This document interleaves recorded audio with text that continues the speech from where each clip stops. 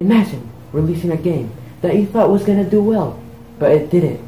But after seven years of it being released, you make it free. And all of a sudden, everyone plays it now. Everyone knows what Fortnite is, but it's seven years old.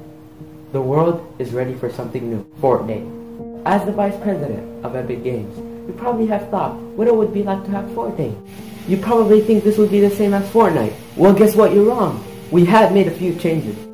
Instead of the max players going to 100 people, now the max players is 101 people. Instead of starting in a battle bus, now we're going to be starting in a limo. Because Fortday's in daytime and it's sunny in daytime, you're going to have sunglasses, t-shirts, and everyone's favorite, bikinis.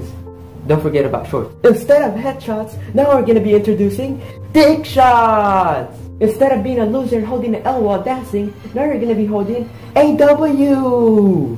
Instead of being a pussy and having to start with a pickaxe to mine stuff, now you're gonna be a man and starting with your own fist. Your lazy ass has to work with his own pickaxe. Instead of dancing in boogie box, now you can make them do whatever you want. And don't think we forgot about dances. Now we're introducing instead the floss. Now we're going to be introducing the hump dance. Instead of four Fortnite Save the World, now we're going to be introducing four Fortnite Destroy the World. Instead of having gold scars, now we're going to be introducing diamond scars.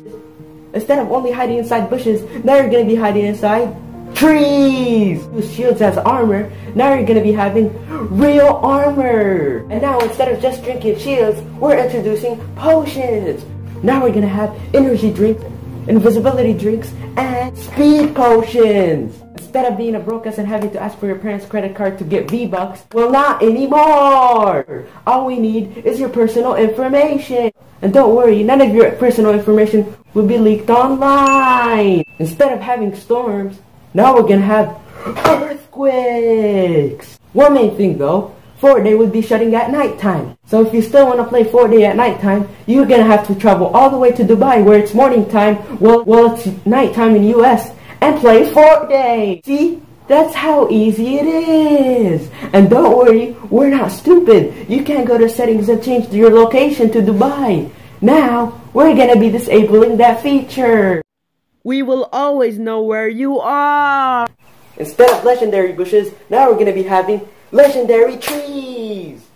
Fortnite would be available everywhere. If your grandpa can't use a touchscreen and wants to play Fortnite, she can use her own flip phone. Also, Fortnite would be available Android, iOS, PS4, and Xbox One.